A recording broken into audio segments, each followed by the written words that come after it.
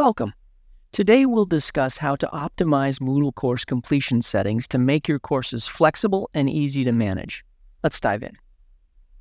The goal of most course authors, especially authors of corporate compliance training, is to make the courses relevant for as long as possible, even if new versions need to be made. The last thing you want to do is to create an entirely new course every time you have to add, delete, or update material.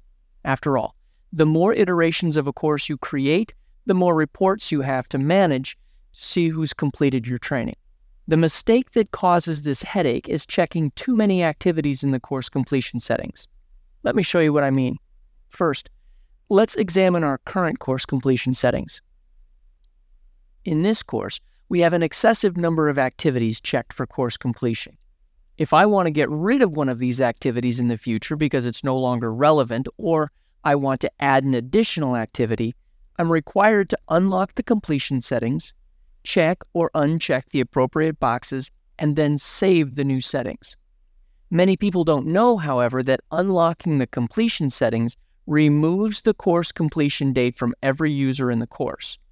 Saving the new settings forces Moodle to recalculate the completion based on the new criteria, and now all of your users have a brand new completion date which is today's date.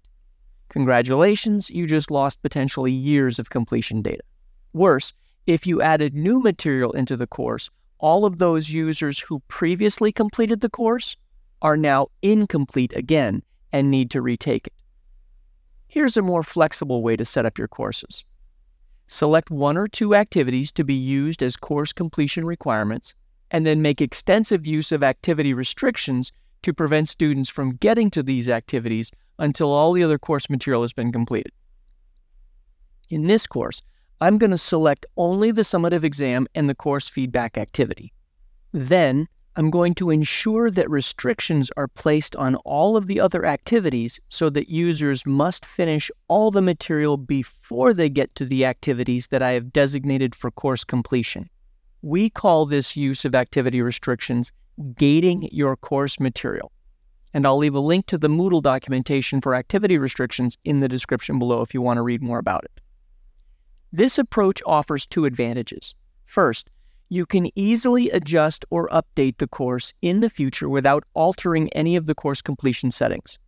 For example, you can delete or add new activities without changing the completion criteria. Second, when updating courses, there's no need to unlock and save the completion settings, which would otherwise change the completion dates for all participants.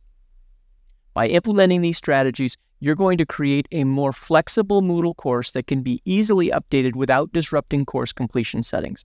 This will save you time and make managing your courses more efficient. Thanks for watching, and I hope these tips will be helpful to enhance your Moodle course experience.